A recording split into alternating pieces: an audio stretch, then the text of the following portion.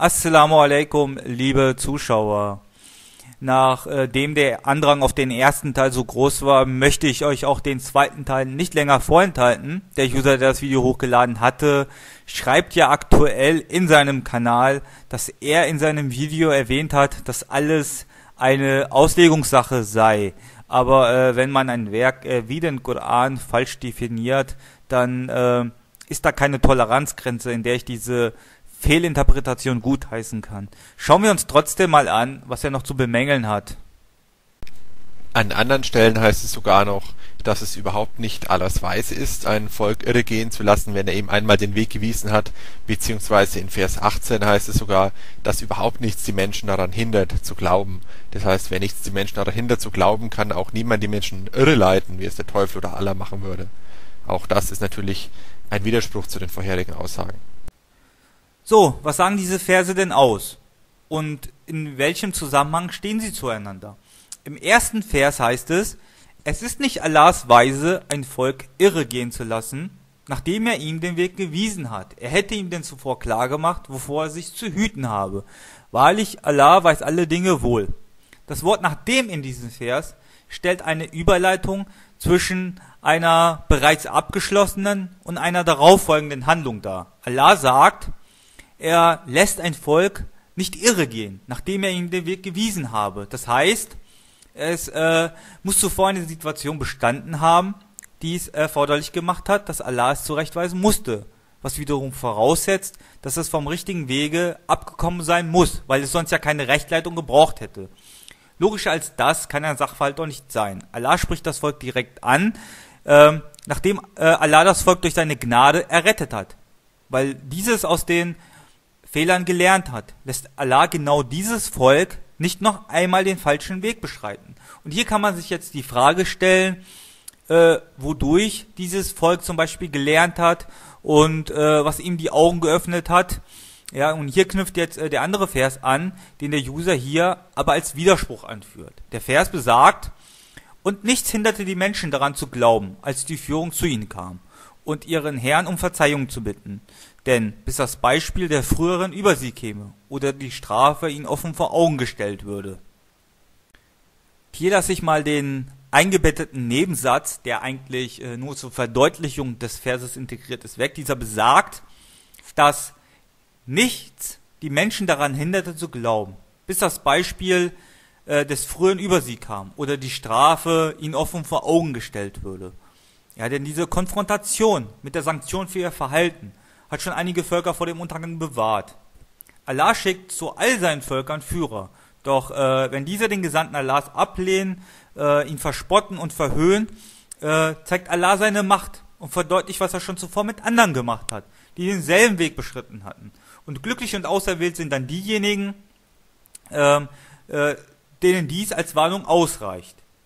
Ja, nun darauf bezieht sich der Vers und stellt auch in diesem Fall keinen Gegensatz dar. So ist es äh, heute im Islam ja auch. Allah hat durch den Propheten Muhammad sallallahu alaihi wasallam die Religion vollendet. Obwohl er diesen Gesandten schickte, gibt es Völker und selbst im Islam noch Gruppierungen, die sich von der Grundlehre abgewandt haben. So ist das äh, unzähligen Völkern äh, vor uns auch schon ergangen. Und äh, weil es immer wieder der gleiche Ablauf ist, hat Allah die Wiederkunft des Messias versprochen und hat diese auch eingehalten. Er sagt im Koran auch, dass alle Gesandten die er schickt, auch Nachfolger bekommen, die in deren Namen kommen, um die Religion aufzufrischen. Jeder von uns kennt das, ähm, dass wir Gelerntes ähm, nur behalten, wenn wir unser Wissen regelmäßig aktualisieren und äh, es uns immer wieder vor Augen führen. Und so ist es mit dem Glauben auch. Allah sagt ergänzend hierzu, Verheißen hat Allah denen unter euch, die glauben und gute Werke tun, dass er sie gewisslich zu Nachfolgern auf Erden machen wird, wie er jene, die vor ihnen waren, zu Nachfolgern machte, und dass er gewisslich für sie ihre Religion befestigen wird, ähm, die er für sie auserwählt hat, und dass er gewisslich ihren Stand nach ihrer Furcht und, äh, in Frieden und Sicherheit verwandeln wird. Sie werden mich verehren und sie werden mir nichts zur Seite stellen. Wer aber hernach undankbar ist, das werden die Empörer sein. Der Grund, warum er Nachfolger macht, ist äh, derjenige, dass Menschen nun mal schwach sind. Ja, mit der Zeit werden sie nachlässig, verdrängen den Glauben und die Religion in den Hintergrund, gedenken Allah vielleicht nur in schlechten Zeiten, ja, und um all dem präventiv entgegenzuwirken oder ähm, all diese vorherrschenden Verhaltensweisen in einer Gesellschaft anzugehen, kommen Nachfolger eines Propheten. Sie reformieren die Grundlehre und äh, treten als Warner auf. Allah schickt sie, um äh, Völker vor dem Untergang zu bewahren. Er ist nicht darauf aus, Menschen zu vernichten, weil er keine Lust mehr auf sie hat. Er ist barmherzig. Er vergibt, wenn er sieht, dass man Reue zeigt. Und das ist der Grund, warum Propheten kommen, weil sie göttliche Offenbarung an die Menschheit bringen und darauf hinweisen, dass trotz aller weltlichen Angelegenheiten es noch was Größeres gibt, wozu wir erschaffen worden sind. In der Historie sehen wir, dass ganze Volksstämme diese Warnung nicht ernst genommen haben, so dass Allah sie vernichtet hat und neue Menschen erschaffen hat. Aber viele nehmen sich das als Beispiel. Und genau darauf äh, wird in dem Vers, den der User hier als Widerspruch, äh, Widerspruch darstellen will, Bezug genommen.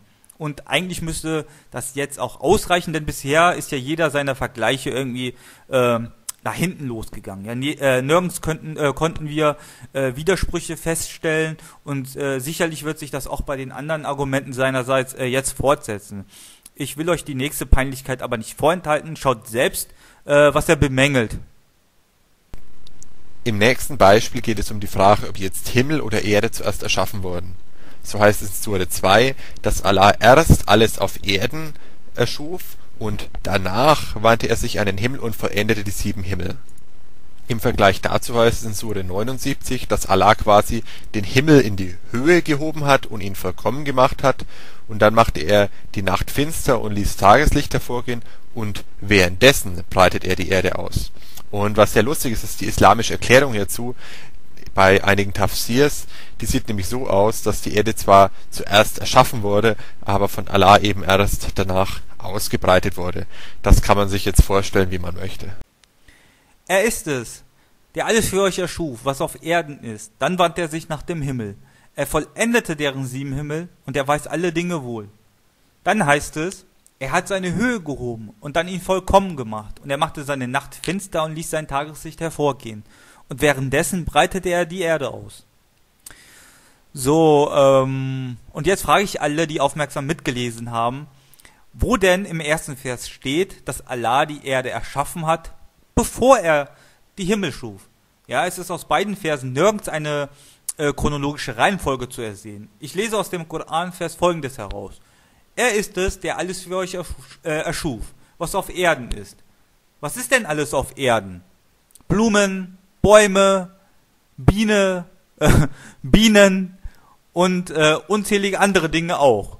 Aber ähm, hier ist nirgends die Rede äh, von, dass er zuerst die Erde und dann die Himmel erschuf oder umgekehrt. Äh, den Widerspruch, den er andeuten will, hebt sich damit schon von alleine wieder auf. Im anderen Vers steht nämlich, dass er äh, den Himmel vollkommen machte und anschließend die Erde ausbreitete. Von äh, Erschaffung ist hier gar nicht die Rede. Außerdem wird hier nicht von materiellem gesprochen, sondern von der Eigenschaft, die die Himmel und die Erde haben. Dessen Entstehung und ähm, deren Aufgabenverteilung wird hier benannt, was die Erde alles hervorbringt.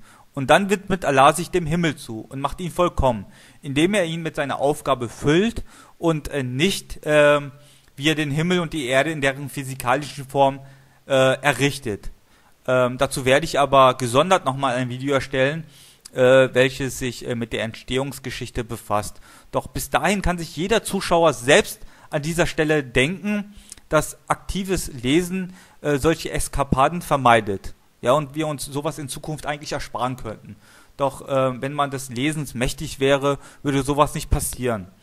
Bevor äh, es aber äh, noch Nachahmungstäter gibt, ähm, werde ich äh, auch noch den Rest aufzeigen und beweisen, dass keines der Verse im Koran, im Heiligen Koran, äh, sich widerspricht. Ja, wir äh, gehen über zu der Entstehungsgeschichte. Ich werde ähm, die Verse anhand der Ahmadiyya-Übersetzung erläutern, weil ich denke, dass sie äh, einfach treffender formuliert sind. Doch vorher zeige ich noch, äh, ähm, wie es in seinem Video steht. Etwas problematisch sind auch die Zeitangaben der Dauer der Erschaffung von Himmel und Erde. So heißt es zum Beispiel in Sure 7, aber auch in anderen, dass eben das Erschaffen von Himmel und Erde zusammen sechs Tage gedauert hat, während zum Beispiel in Sure 41, da wird eben detailliert aufgeführt, was wie lang gedauert hat.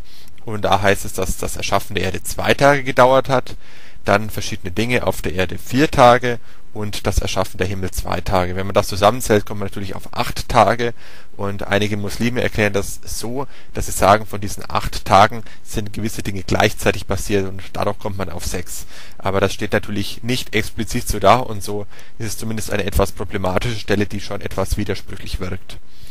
In der Version des Users hier werden die Perioden der Entstehung äh, in Tagen unterteilt, wobei die korrekte Übersetzung mit dem Wort Zeiten und nicht Tagen transferiert hätte werden sollen. Die angekreideten Verse lauten demnach wie folgt. Siehe, euer Herr ist Allah, der in sechs Zeiten die Himmel und die Erde erschuf. Dann setzt er sich auf den Thron. Er lässt die Nacht den Tag verhüllen, der ihr eins folgt.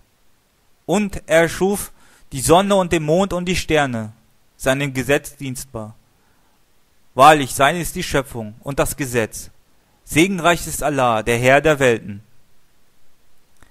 Sprich, leugnet ihr denn wirklich, der die, äh, der die Erde schuf in zwei Zeiten, und dichtet ihr ihm Nebengötter an? Er ist nur der Herr der Welten. Er gründete in ihr feste Berge, die sie überragen, und legte Überfluss in sie und ordnet auf ihr in richtigen Verhältnis ihre Nahrung in vier Zeiten, gleichmäßig für die Suchenden. So vollendete er sie als sieben Himmel in zwei Zeiten, und in jedem Himmel wies er seine Aufgabe an.